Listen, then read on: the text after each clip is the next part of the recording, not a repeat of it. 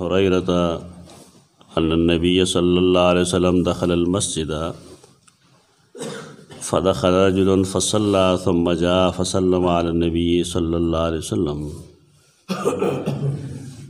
فرد النبي عليه السلام فرد النبي صلى الله عليه وسلم عليه السلام فقال ارجع فصلي فإنك لم تصلي فصلى ثم جاء فسلم على النبي صلى الله عليه وسلم فقال اجي فصلي فإنك لم تصلي ثلاثا فقال والذي بعثك بالحق ما أحسن غيره فعلمني قال إذا قمت إلى الصلاة فكبر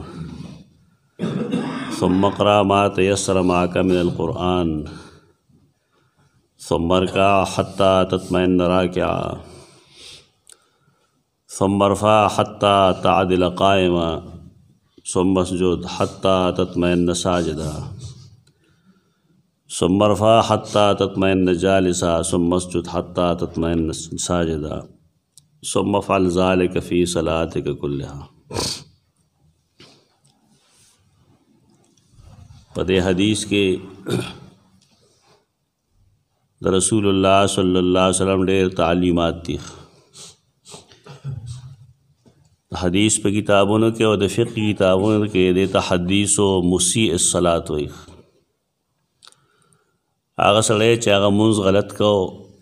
رسول الله صلی الله علیه وسلم هغه ته طریقه وښودله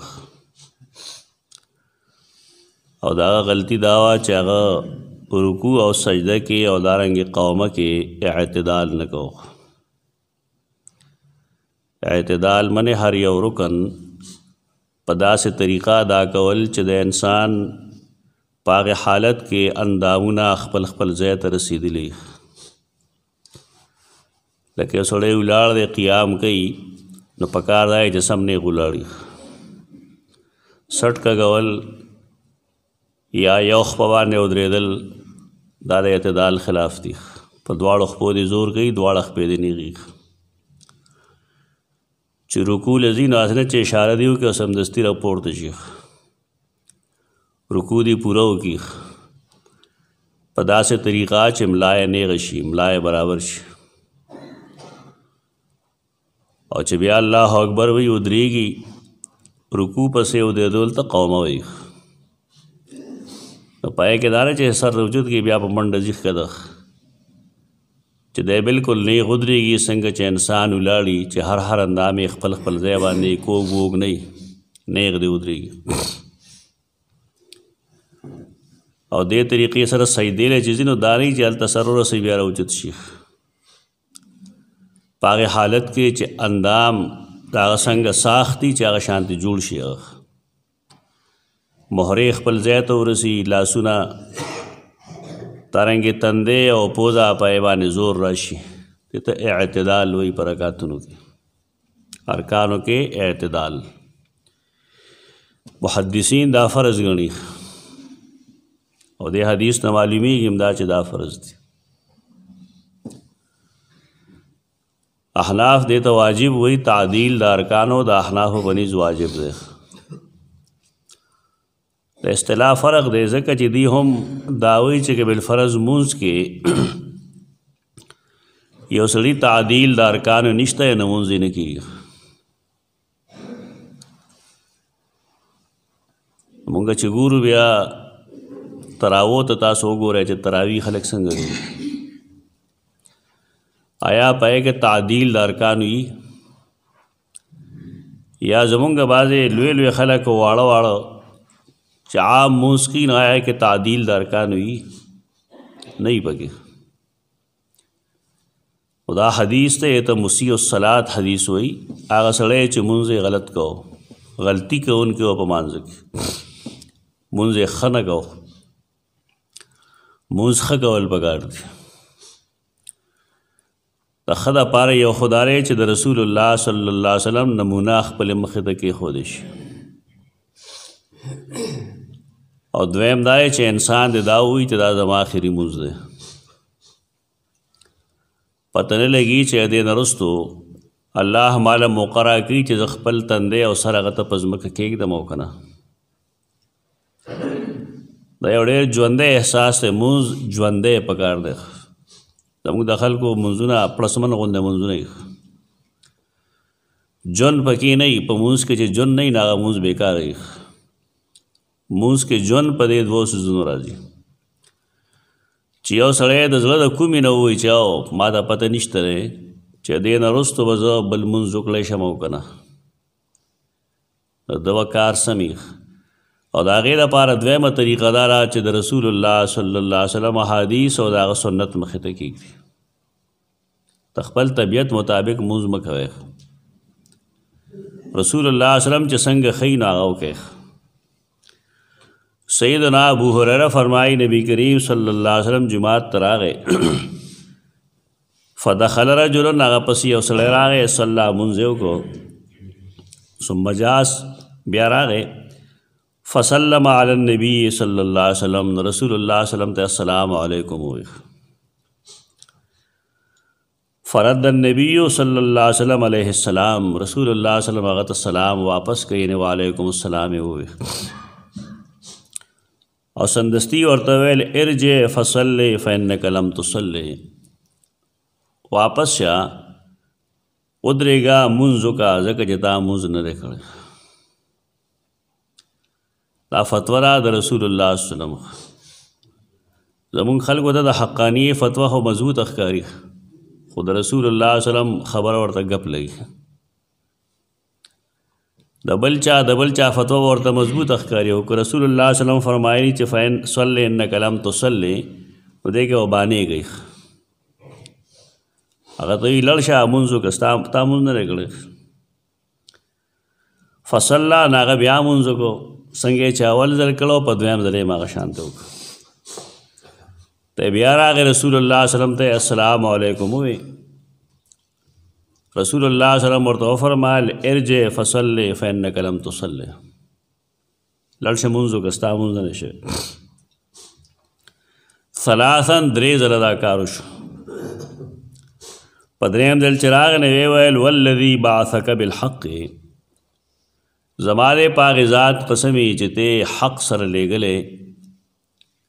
تعالی حق دین در کړی دی مونږ له را لېږلی ما احسن غیره زه د دې نه ښه مونځ نه شم کولی پس دغه را راځي فعلمني نو ما ته علم راکړه راته وښیه که ماله چې کوم راځي هغه زه کوم او تاسو وایه چې دا مونځ نه کېږي نو ماته چلو خیا رسول الله صلی الله علیه وسلم هغه تو فرمایل اذا قمت الى الصلاه فكبر کله چې مونږ ته ودرېږي نو الله اکبر وایخ تکبیر تحریم وک اوس د کې حدیث کې رسول الله صلی الله علیه وسلم هغه ته چې کومه غلطی ده هغه هغه ورته خیخ تکبیر تحریمه سره لاس پورته کول شته که نشته دی شته ورسره لیکن دی کې هغه نه ښیي لہذا د دې حدیث طرف الیدین کول او نه کول سره څه تعلق نشته رسول الله صلی الله علیه وسلم هغه ته دا نه وی چې دې سره لاس پورته کړ نه چې کومه غلطي دا ورته غلطي دا دغه ځای کې نشته الله اکبر چې وې ثم اقرا ما تيسر معك من القرآن بیا اولو لاغا چې تاسو رہی د قرآن مجید نه قرآن چې ترته کم یاد یې غو وایا پرې موږ باس کړې چې سورۃ الفاتحه دا محدثین هغه د مانزر وکنګنو یعنی سورۃ الفاتحه ولل اغي فرض غني احناف را اداره چې فاتحه دی وی بشک لیکن د قرآن سه حصہ ورلم کافی دا مطلب دا چې که نور ورته نه یاد د قرآن سه حصہ ورته یاد نو ټیک ده بار کیف اختلافی مسله وا په کما د منځګزارو قسمونه خولې او تاسو چې منځګزار درې قسم دي یا منفردی یا امام پسې مقتدی وي یا امامي او درې واړه احکام ما تفصیلا خو دلیو البته امام ابو حنیفه رحمت الله تعالی علیه رائے دا ده چې اوسړی ایمان وروړي نوې نوې مسلمان شي نو د خو سورۃ الفاتحه دې نه پیژني دا غي پس د کولو با ټایم لګي که بدل لګي یو سړی مسلمان نه دی او مسلمان شو نو بېشک مونږ وایو سورة الفاتحه دې ووایي نو دی بس چل کېدی اوس ورځي نه او سړی چې مسلمان شي نو مونځ پې فرض شي دا یو سوال دی د هغه مخې ته دی هغه یو جواب ویلی دی هغه دا چې دی دی بل څه اسکار کوي که نه په خپله ژبه کې دی د دې مطلب ورته وښودلی شي چې د سورۃ الفاتحه کې مونږ څه وایو نو هغه مطلب د دې په مانځ کې وایي مونږ به کې خو دې سره با سورۃ الفاتحه زوتي چې کله هغه زوته کې نه بیا د خپل جبر نه وایي بعد د خلکو د خندا یو موقع جوړ شو چې د امام ابو حنیفه په نیز په مونږ کې فارسی کې دعاګانې کول جایز دي خبره داسې نه بدنامول خلک نه کوي هغه د یو نو مسلم په باره کې دا ویل چې سړی نوې مسلمان شي او هغه له سورة الفاتحه نه ورځي لمونځ خو پرې فرض دی دی به څنګه لمونځ کوي تا سره څه جواب درې دی نو اول خو دا خبره هغه په داسې تناظر کې نه ده کړې ده نن بعضې خلک دا وایي چې او په فارسۍ کې سورې فاتحه لوستی شي هغه نور پورې خان دي چې دا څنګه چل نه دا نادان دوستان دي نن اسلام ته او دارنګ امام ابو حنیفه ته څومره مصیبت چې جوړ کړی دی ټول نادانو دوستانو جوړ کړی کمقل دوستان دي بسوي نو امام ابو حنیفه رحم الله دا خبره عام مسلمان د پاره نه دکړي او دوی مدا چې د تفسیر په کتابونو کې بل خصوص د علوم القرآن په کتابونو کې د امام ابو حنیفه رحمه الله د خپل قول نه رجوع هم غوي لیکل چې هغه د خپل قول پرې خو چا فارسی کې د قرآن ترجمه وکړي یو ډاکټر صاحب مړ دی ډېر لوی سړی و بار پاتې کېدو د هغه کتابونو کې هم هغه به نو مسلمو ته قرآن نه خو ورته به یې بس خپله ژبه کې به ورته ترجمه کړي دا که ستاسو لمونځ کېږي او د امام ابو حنیفه رحمه الله قول به دلیل کې پیش کو هغه دا نه دی ویلي چې دی به سورې فاتحه نه وایي هغه داوی دی او چونکه نوې مسلمان دی سورۃ الفاتحه نورځي تر کومې چې نورځي تر هغه د خپل جبه کې د ترجمه وایي خو ور سره ور سره بلا زوتی په زواتول بعد غیر مسلم یو هفته دو هفته لګیږي دا یو هفته دو د اختیار دی نور به دې زده کوي سورۃ الفاتحه نو بار کیف دلته کې ثم مقرا ما تیسر ما کم القرآن ثم مرکع بیا رکوع کا حتا تطمئن راکعا تر دې چستان دامونه خپل زیل ورشي رکوع کوونکې اطمینان پر رکوع کې سره چستا ټول اندامونه برابر شي او کله چې رکوع مونږ کو نو هغه کې زمونږ تقریبا ټول وجود لګي خپېم زمونږ لګي پای کې که په خپو ولاړ یو نو خپې نه غي پکار دي شړو ته نه دي پکار چې دا قبله طرف ته جوګاو دي نو دویم دا چې زمونږ لاسم پای کې پکار دي پکار دی چې زمونږ لاسم شړوت نه دا یې نرمي سختې وي او زمونږ د وجود زور دا په لاسو باندې او د لاسو زور په پخپو باندې د غلطه زمونږ د خلکو کار غلط دی لاس به نرم کړي یا یو خو دی یا بل خو دی نو بیا دریم کار دا چې زمونږ شا زمونږ ملا زمونږ سر زمونږ اوګې دا په یو سیخ کې او تاسو چې وګورئ نو ډېر مشران داسې د هغوی سر داسې او ډېر داسې چې د هغوی سر دومره ښکته چې ملا پرې راپاسه ډوب پې ښکاري دا دواړه غلط دي دې ته خیال کوي دا رکوع نه کیږي دا حدیث ته د رسول الله دا سه رکوع نه کیږي دا سه نه وي راس کته دا سه کړي هم غلط دی او کدا سه نه کړي سر دې کوس کړل هم غلط زموږ د جمعه کې سره سه کسان دو سلور چې دا غي رکوع غلط ده ورته ویل شي نه کوي نه وتا ته سوي زما مخ کې پیدا شوی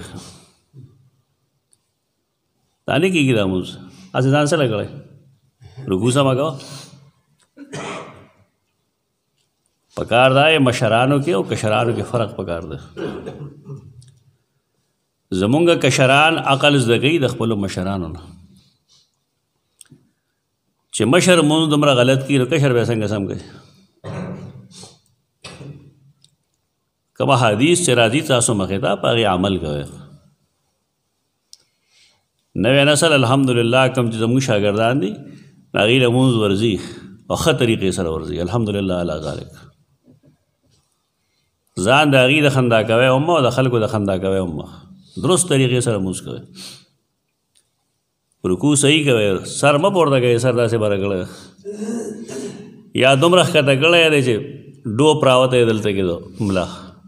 یو سیت کې وساته بلکې فقها خو چې څه لیکي نه هغه ډېر مشکل دي ښه تاسو ته خلک نه ښیي هغه دا وي رکوع به هله هغې صحیح چې که مونږ یو ډک کنډول د اوبه د په ملا کېږي او دا نه تویږي نو دا رکوع به صحیح ستاسو د ټولو ډوپ راوتي هلته کې ډونګ به نه اوچته دی په لاسو چې تاسو زور وکړئ پوره طریقه دغه ده زموږ استاد الله دې وبخښي پي ټي فوجي وو هغه موږ له ډریل کو نه هغه موږ ته وی رکوع په شان ټیک شه ټیټ شه هغه نه موږ دا مسله زده کړه هغه موږ ته په خطیب صاحب دی هغه موږ ته وی چې که تاسو رکوع صحیح کوئ د هغې طریقه دا چې ستاسو خپې ټایټ پکار دی او د بډې نه بره باډي ستاسو نرمه پکار ده خپې چې کله کېږي نو بیا لاسونه په هغې سختۍ سره کېده اوس تا رکو به صحیح او کنه ستا لاس سست دي یا ستا خپې سستې دي نو ستا رکو چرې هم صحیح نه راځي و دې ته وګوره دې خپې او مخې طرف ته جوکه وي نو ځکه هلته سر پورته دی یا ښکته دی خپې سختې که خپې چې کلکې شي نیغې شي او ته خپل د وجود زور په هغې ور واچوې نو ستا رکوع به له هغې سمه وي او دې کې فایده به دا وي چې تا ته به د ملا درد نه راځي دې کې دا فایده هم شته ځکه دا پنځه وخته چې ته دا کار کوې نو دې کې دغه فایده هم الله یخې ده چې ستا د ملا هغه مهرې او صحیح خوځي راخوځي کم کسان چې نه دی دا ته لومبي ځل وا درد کوي دغه او ټول عمر شپېته کاله مونږ داسې ګړه خدای چې روز دو پس به ان شاء الله هغه ټیک شي په دې کې د ولو دردونه هم ختم شي اعصاب دې سره پوره راخلی شي پټې پوره راخلی شي د دې وجنا منځګزار سره داسې نه خرابېږي دا څنګه چې عام خلک خرابېږي اکا دوکا خراب شي خو دا الله ازمایښونه یې پر جرز دي لیکن که مون سره صحیح طریقې سره وږي دا غم لا کې څه مسله نه پیدا کیږي رسول الله صلی الله علیه وسلم وی ثم مرکا حتا تطمئن راکعا چې رکوع کې ته مطمئن شې ستا هر هر اندام خپل ځای لور شي بس اشاره چې اشاره کوي داسې پاسیخ ثم مرفع بیا اوچت شخ او ته دلته کې چېرته ودرېږه او دا مشران وګوره دوی چې لمونځ کوي که نه خو چې ته یې نه یې لیدې نو بیا دوی ته به وایي دوی څنګه قومه کوي دوی له سر پورته کړي بیا ډز ښکته ورغلي زه وینم ما د ښکار یوم جماعت کې وینم بره نماز ډېرې غلطۍ ښکاره شوې د خلکو چې څوک نه بیا دا حرکتونه هم کوي یعنې خانه پوري کوي محض زموږ ماشوم دی حذیفه کله کله مونځ روان کوي که نه اړوکی دی نو زه هغه ته وایم ته د الله نه غلا کوې چې پلار دې وي نو مونځ سم کوې چې پلار دې نه بیا مونځ خراب کوې دا اوس اوس خبر شوم چې مشرانو کې هم دا غلطي موجود ده چې څوکي دی وسم دا مې سم مونځ کوي چې څوک نه نو بالکل د ماشومانو غوندې خانه پوري کوي موږ الله ته ولاړو الله علیم بذات الصدور دی د انسان د زړه پر راز باندې پوهېږي که سوچتا او که نشته دی مونځ ولې غلط دی او هم څیز دی چې کله ودرېږی نو پوره ودرېږی نه یې ودرېږی چې ستا ملا نه ګګا ثم مرفع حتا تعتدل قائما تر دې چې ته معتدل شې په ودرېدو کې بالکل ستا هر انداز خپل ځای ته اوس نه ودرېږه هغه ځای نه رستو ثم مسجد بیا سجده وکا حتا تطمئن ساجدا تر دې چې ته مطمئن شې سجده کوونکې التم چې ستا اندامونه خپل خپل ځای له ورشي دا غیسه طریقه ده هغه دارا چې زمونږ زور زمونږ د خلکو زور دا په لاسونو باندې تا چې سجده کوي ستا زور په صحیح په لاس دا زور په تندي او پوزې ته پرېږدی هله یې ستا سجده سموي ستاسو زور په لاسو باندې لاس به د هغې معاوني ستا د باډې زور دا به یې په تندي او په پوزه باندې نو ستا سجده به هغې څه وایي چې کله صف کې نه ولاړ نو لاسونه کولاو که رسول الله وسلم به لاس کولاول تر دې چې د هغه د ترخ مبارک سپینوالی وښکاره کېده کولاو سجده وکړه او کنه صف کې نه بیا ډیر مخورېږه خدا کوشش بم کوي چې ستا لاسونه سنگلې دا خېټې پورې نه لګي یعنی د نارینه سجده ډیره مشکل ده د لحاظ سره چې دی به لاسونه د ځمکې نه هم لرې کوي زمونږ اکثره خلک لې چې ولګوي داسې مونځ کوي رکو سجده کې رسول الله صلی الله فرمایي لکه د ثعلب لومبړ په شان مخ وروي دا دا پورته کې ځمکې نه په ځمکه به صرف تلې لګي د وجود نور حصہ د لاس نور حصہ په ځمکه نه لګي په سجده کې کله لګولې دا د رسول الله صلی الله علیه وسلم د حکم خلاف دی کړل ګناه دی کړل لاسونه بالا جم بنم صادق خېټه نه بهم صادق ابل بپم نه تنګه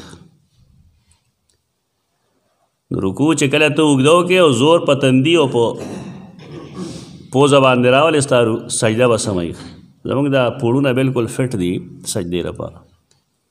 د دې نیمه کې سجده مکه او سر ته ځان رسوخ و دې کې هم اطمینان پکاري اعتدال به پکاري ثم مسجد حتا تطمئن ساجدا ثم فعل ذلك في صلاتك كلها بیا په خپل موز کې ټار یو رکعت کوم دغه شان کوه دې کې موږ ته دا خو دل چې تعدیل د ارکانو دا لازم دی او که سره موز دغه طریقې سره کوي کم چې زمونږ تراوی کی دا نه کیږي درې نه کول خي پدای تراو باندې څه کوي نه کیږي الټا ګناګار شو تراوی کول دا سنت دی او د دې جماعت چې کوم دی دا سنت علی الکفایه ده په جماعت کې وړله ناشته یي جماعت کې وی او تراو موږ کوي ټیک نه یو سړی کور کې دا موږ کوي کولی شي او چونکه عام خلک کور نه کوي بیا دروغ وایي په دې وجه نه علما په دې زور کوي چې مسجد کې وکړي شي ماسوتر نه کوي یو سړی سار پښمنی کې کوي نه کولی شي خو دلته که یو سړی دغه شان کوي او کوي بیا ما غریب ځان له نو زمونږ خلکو سره ډېر فکر دا چې تراویح نه کوي نو دا تراویح کول دا سنت دی لیکن د رسول الله وسلم په طریقه کول دا ضروری دی کته راغې نه خو دې خو اګل نو سامون نه شي زموږ دا محدث خدا دې د پاره لیکي چې په هر رکعت کې سورۃ الفاتحه ویل ضروری دي د دا درې حدیث د بیان نه مقصد دا دی لیکن امام بخاری رحمه الله دا په دې باب کې نه لیکره